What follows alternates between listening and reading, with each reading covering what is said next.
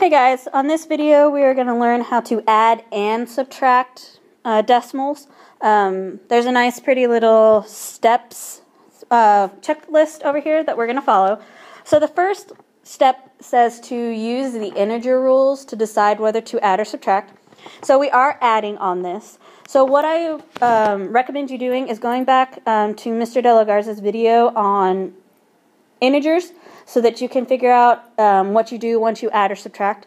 So referring back to that video, when we're adding, if the signs are the same, so we have a positive 3.5 and a positive 0.28. So what that means is we are going to be adding, and because they are both positive, we're going to add and keep the sign that they have. So we have 3.5, and then the next step says that we line up those decimal points. So this is what it's going to look like. The 0 will line up with the 3, the decimal point will line up here, and then 2 and 8. 8 does not have a number to go with, so we fill in a 0 so that it has a buddy. So then we just add like normal. 8, 7, bring down the decimal point, and 3. So notice the big thing that we did here was that the decimals stayed lined up. As you notice, it is nice, pretty, all lined up in this place right here, and that's how it's supposed to be. So the next example that we're going to deal with is a subtraction problem. So yet again, like I said, you line up your decimals. So the big thing you need to do, we are subtracting, so we're going to do here.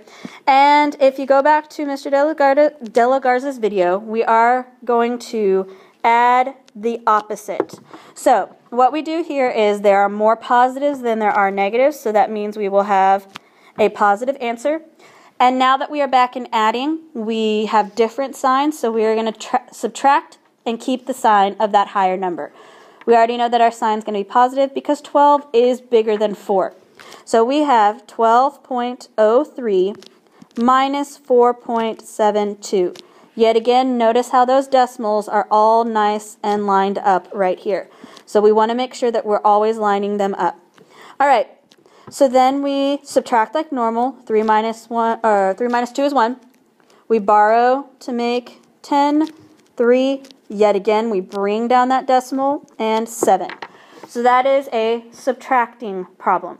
So adding and subtracting decimals, very easy. Follow your integer rules. So go back to Mr. De La Garza's video, line up your decimals, bring the decimal down, and there you go.